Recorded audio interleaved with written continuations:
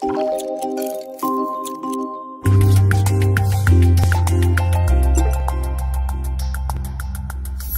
my pleasure to speak about IgA, IgA vasculitis in childhood. It is a vasculitis of small vessels without granuloma. Diagnosis is based on the association of a purpura predominant on the lower limbs, usually palpable, plus one of the following four criteria. Abdominal pain, IgA deposits on the biopsy, arthritis or arthralgia, and or renal involvement. The incidence is around 6 to 20 cases per 100,000 children per year, 10 times more than in adults. Mean age of children is 6 years, with 75% of children less than 8 years old and 19% less than 10 years old.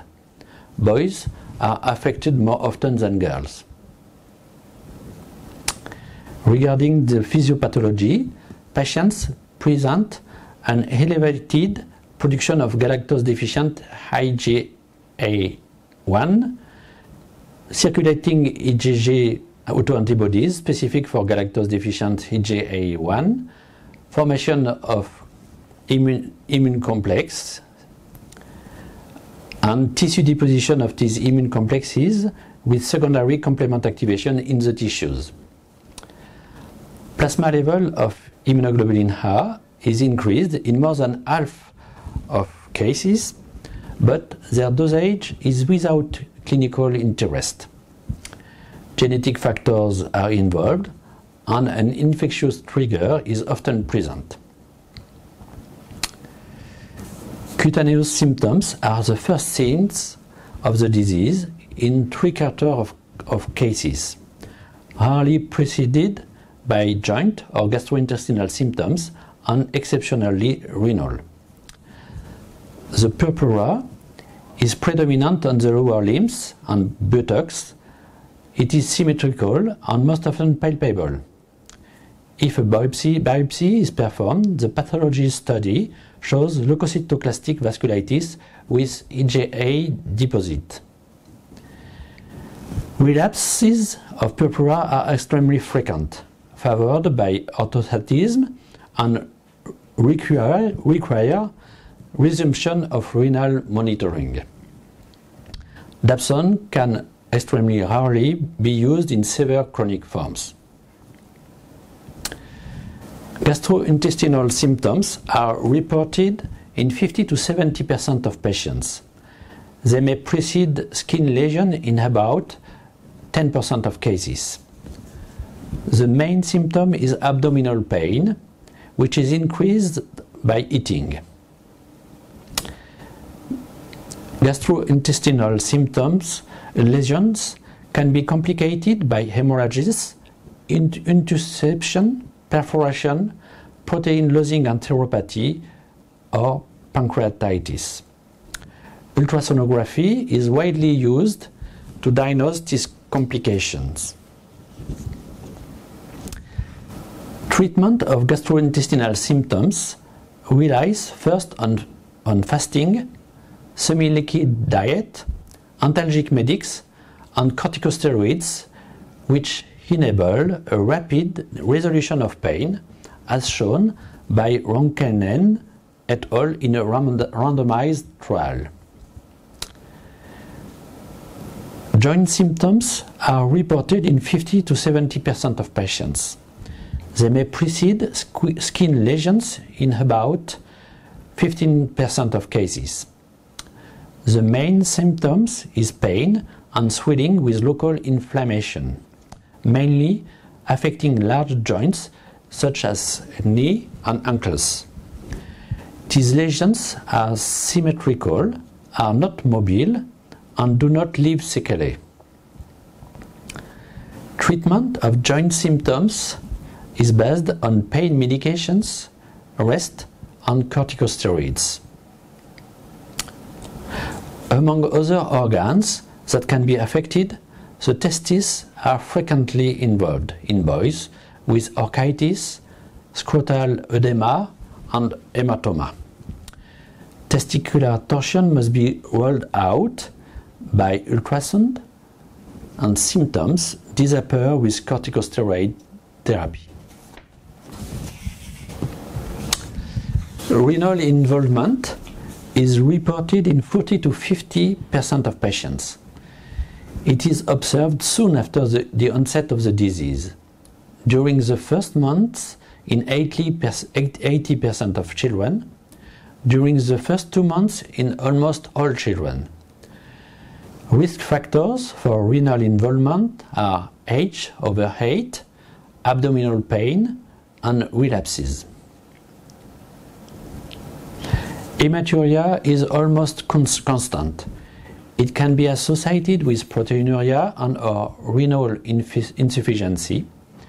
20 to 30 percent of patients with renal involvement present a nephrotic range proteinuria, and less than 5 percent of nephrotic syndrome, uh, a nephrotic syndrome and or a renal insufficiency. Hypertension can be ex exceptionally isolated. Renal involvement is often asymptomatic and must be screened for with urinary dipstick, dipstick test to detect blood and albumin. Tests must be frequent, once a week for the first two months and can be spaced out the following months. Frequent testing must be re-implemented after each disease recurrence. No treatment prevents renal involvement in children presenting an IgA vasculitis. In the late, latest, latest, sorry, latest published studies, the prognosis factors associated, associated with renal sequelae are first, the time between the onset of the nephropathy and the biopsy or start of corticosteroid therapy. Second, the presence of, of chronic lesions on the renal biopsy, nephrotic syndrome, and an extracapillary proliferation on biopsy.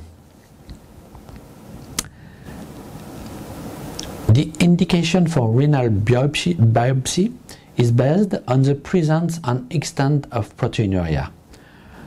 Proteinuria can resolve spontaneously in some cases, but chronic lesions can appear very early in the course of the disease. Thus, they were already present in 22% of biopsy done before 30, 30 days in these recent studies. Study, sorry. The objectives of the biopsy are to confirm the diagnosis if in case of doubt, to participate in the therapeutic choices, in particular by the evaluation of both chronic lesions and acute active lesions. The treatment choice depend on the extent of the proteinuria and the results of the biopsy, if it is performed. The two main therapeutic classes, classes used are corticosteroid and inhibitor of the renin-angiotensin-aldosterone system. The presence of a proteinuria justifies an urgent pediatric nephrology advice.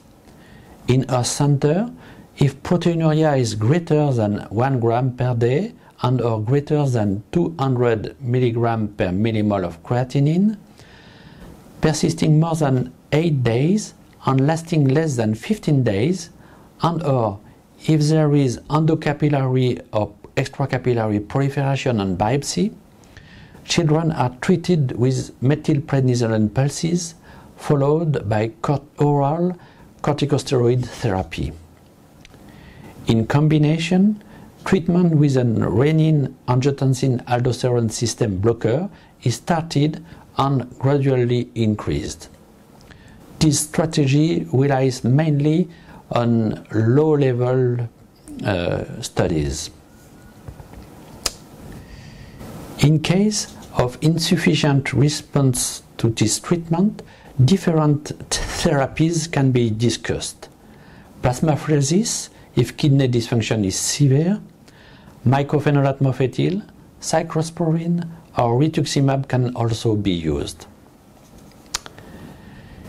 In our center, if the proteinuria is between 0.3 and 1 gram per day and or between 40 and 200 milligram per millimole of creatinine, persisting for more than 8 to 15 days, children are treated with inhibitor of the renin-angiotensin-aldosterone system with rapid dose increase if proteinuria does not disappear. If the therapeutic response is insufficient, a renal biopsy is performed to discuss the addition of corticosteroid therapy.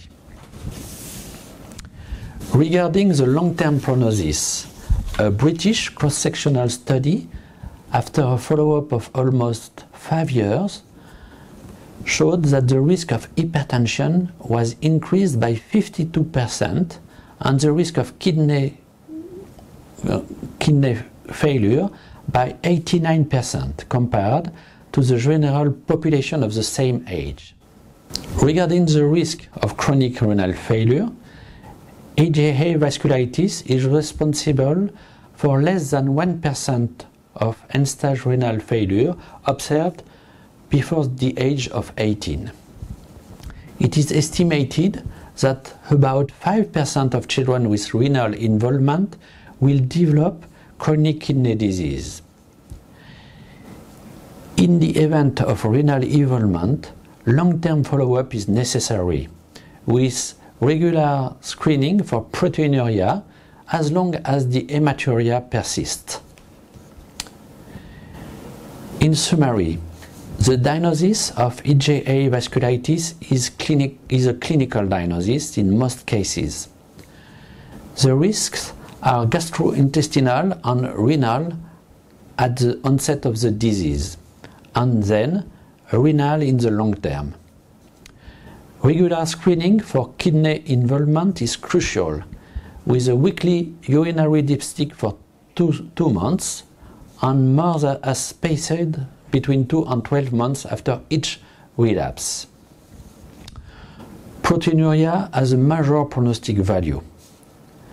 The treatment of renal involvement is urgent. It is firstly based on high-dose corticosteroid, corticosteroid therapy, an inhibitor of the renin-angiotensin-aldosterone system, with, in addition, if insufficient response, immunosuppressive therapies. Thank you for your attention and sorry for my English.